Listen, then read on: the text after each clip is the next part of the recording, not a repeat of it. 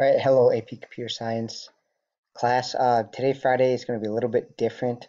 Um, I'm actually going to have you do two free response questions, which will simulate what the actual test date is like, right? Where if it's Friday, May 8th, we are one day, sorry, one week out from the test. And so I want to just simulate as best I can what the test is going to be like. Um, it is going to be different than the other days this week. One thing that's different is the questions are not in uh, the AP site this time. These are a special questions they just came out with. Um, literally, I'm trying to scramble and change the directions because it just came out with them. But um, so it's going to be different. So you're just going to do it. Uh, load up this PDF here, right? With that has the questions. There'll be two of them, and you're going to do both of them today. And you can do it however you are planning to do it on the AP test, right? So if you're planning to do this uh, um, by writing them out by hand, right? You can load them up the first one is about gizmos here, right? So you could actually write out the code. And if you were to do that, you don't have to write out, obviously, this gizmo class. Once you read through this, this will make sense. But the gizmo class, you don't have to do any code there. It's just uh, an object that uh, is a little thing that is sold, and they have the maker of the object, and then is it electronic, and then an equals method to see if it equals another gizmo or not. They don't even tell you how that works, but Maybe they do later in the question. I can't remember, to be honest.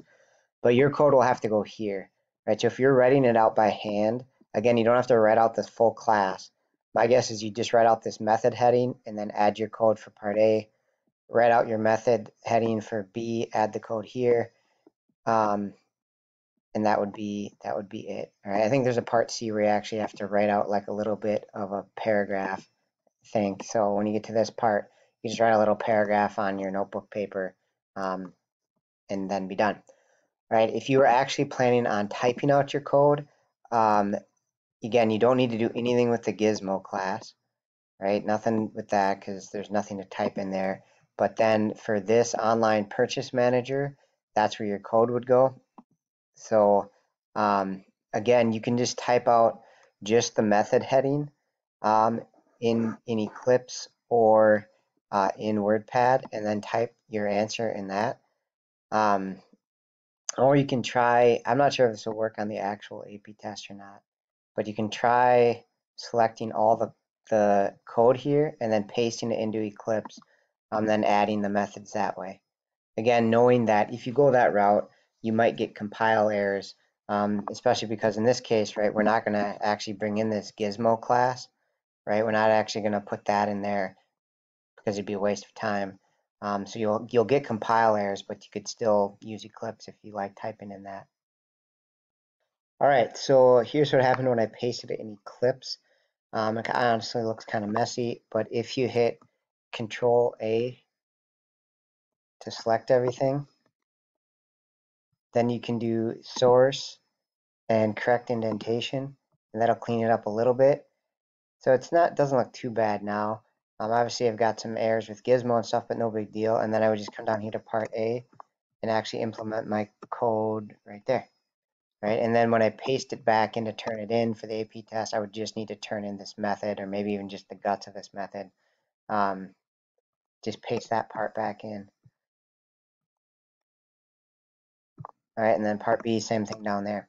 Um, if you want to do it in WordPad, you can paste it in, and it actually looks pretty good in WordPad when I pasted it in there.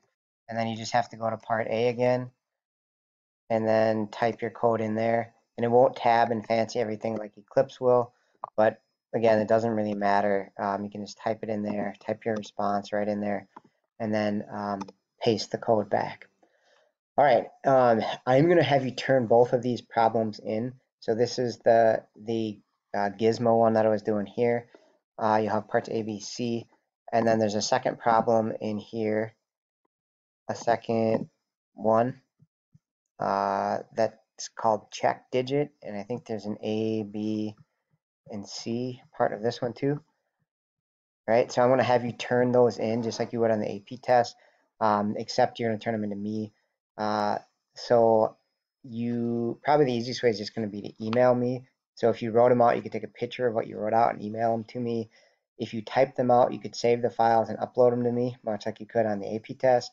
Or you could just take your answers, um, copy and paste them into an email and send them to me that way. All right. Um, this one again, you can't submit on the AP site; they don't have it in there. But I'm going to have you do it one of the three ways on the AP test, and then turn it into me. This is one that I'm I'm going to uh, to grade. Um, not I'm not going to grade it super rough on accuracy, but it is going to go grade in the grade book that you give this a shot, um, and then I'll be able to give you feedback on it um, in the form of uh, actually I'll have solution videos uh, up um, later. Yeah, and actually I'll probably put them up right away. So if you want to look at those, um, you can just um, look at them after trying these, right? Uh, you know, more than the grade matters here. You understanding these. These are probably the best two they're going to have for the AP test. Um, they just came out with them, and they are a little bit different because they have like a part C where you have to write stuff out, which is is rare. But I think it's something that definitely they'll probably do this year, just because that's something you can't Google very easily, right? So they, I think they talk about it right here. Um, but it's the best way I can give you to prepare for the questions this year. And so take these part C's seriously in here. Um, we have to write out uh, the different parts. All right, so um, that is it. Uh, can't remember if there's part C for all of them. Might be just part C for the first one. You have to write something out.